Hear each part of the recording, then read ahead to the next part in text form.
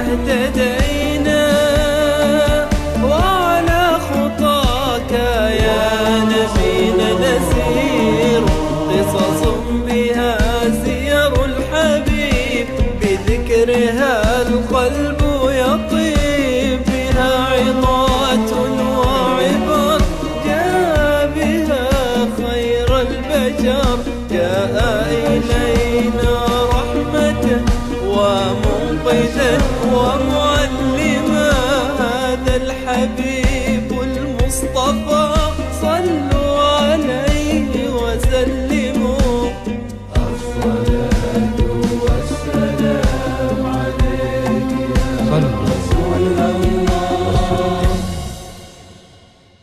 الحمد لله والصلاة والسلام على سيدنا رسول الله أشرف خلق الله وأكرم خلق الله على الله وأعظم خلق الله عند الله منزلة ومكانة.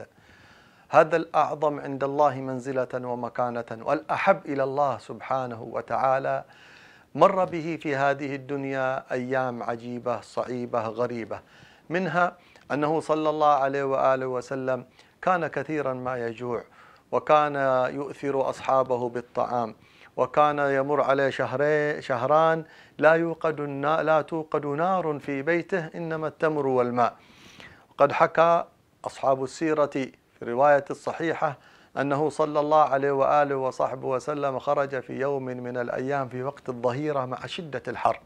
هذا الوقت ما كان يخرج فيه الناس في حر المدينة المنورة والشمس تلفحهم.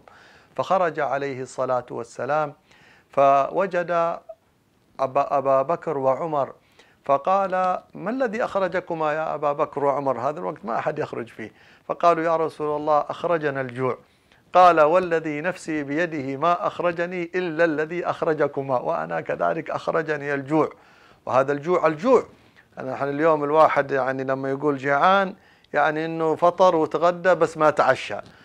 الجوع هنا يعني إنه له يومين ثلاثة أيام ما أكل شيء. فيقول أخرجني ما أخرجكما. فتعالى. فمشيا معه حتى جاء جاءوا إلى بستان أحد الأنصار اسمه أبو التيهان رضي الله عنه وأرضاه. فجاء إلى بستان أبي التيهان فوجده في بستانه فلما رأى رسول الله صلى الله عليه وسلم فرح كثيرا برسول الله. كيف لا يفرح؟ هذه الدنيا والآخرة كلها جاءت إلى بيته. حبيب رب العالمين دخل إلى بستانه فبسط حصيرة على الأرض ثم ذهب مسرع فاستعذب ماء جاء بشيء من الماء وذهب إلى نخلة يتسلق. لما رآه النبي يتسلق النخلة قال له يا أبا التيهان أو يا أبا التية اقطف لنا أو تخير لنا من التمرات فقط. لأن أبو التيهان طلع معاه السكين طلع يريد أن يقطع لهم عذق كامل. النبي عليه الصلاة والسلام من رحمته قال له اقطف لنا تمرات يعني لقط لنا بس كم تمرة تكفينا. ثم ذهب مسرعا إلى زوجته وعرف النبي عليه الصلاة والسلام أن الرجال يريد يذبح له شيئا من من الطعام من اللحم. فلما رآه مسرع قال يا أبا تيهان إذا أردت أن تذبح فلا تذبح ذات لبن ولا تذبح كذا. يعني جيب لنا أي شاه قربوعة كما يقولون حاجة بسيطة هكذا لا تتكلف كثير. فذهب أبو التيهان من فرحه كأنه يطير. فجاء لزوجته قال ما أحد أكرم أضيافنا اليوم من من أضيافنا؟ عندنا رسول الله وأبو بكر وعمر فأحسني. فقامت تطبخ الطعام وتجهز الطعام حتى إذا جاءت بالطعام إلى عند النبي صلى الله عليه وآله وسلم. أكل رسول الله من التمر والماء وطعم من اللحم. ولما أكل قال أخذ شيئا من الطعام قال خذوا هذا إلى بيت فاطمة. فوالذي نفس محمد بيده إن لها ثلاثة أيام ما دخل جوفها شيء. بنته بنت سيد المرسلين ثلاثة أيام وهي لا تجد حتى لقمة واحدة تأكلها. ثم يقول يا أبا بكر ويا عمر إن هذا من النعيم الذي سوف تسألان عنه يوم القيامة ولا تسألن يومئذ عن النعيم. هذه شوف كيف الآداب. كم واحد لو نجلس نعلق على كل فقرة من هذه الفقرات تحتاج إلى شرح طويل إلى تفصيل كثير. لكنه عليه الصلاة والسلام متواضع متأدب وصول رحيم مشفق ينتبه من بنته ويراعي ولا ينسى النصيحة. والموعظة والتعليم والتربية لأصحابه. ثم لما خرج قال يا أبا تيهان إذا جاءنا شيء من السبي فأتنا. فلما جاءه شيء من السبي جاء أبو التيهان فأعطاه رسول الله خادمة. قال هذه لك ولزوجتك تعين زوجتك يا أبا التيهان. فلما جاء قال له ولكن أحسنوا إليها.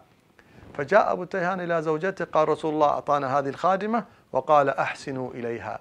قال يا أبا التيهان والله ما أرى أن نوفي كلمة رسول الله بالإحسان إليها إلا أن نعتقها ونطلقها. فقال إذا كان هكذا فهي حرة فأطلقوها. فجاء فأخبر النبي صلى الله عليه وسلم عن كلام زوجته. قال يا أبا التيهان زوجك أي زوجتك أفقه منك. فهمت الإشارة ولقطتها وهي طائرة وعرفت أخلاق رسول الله وما يحب رسول رسول الله صلى الله عليه وآله وصحبه وسلم فما أعجب جوعه وشبعه وأدبه وأخلاقه وعاملته مع الكبار والصغار ومع بنته ومع صاحب البستان ومع زوجته.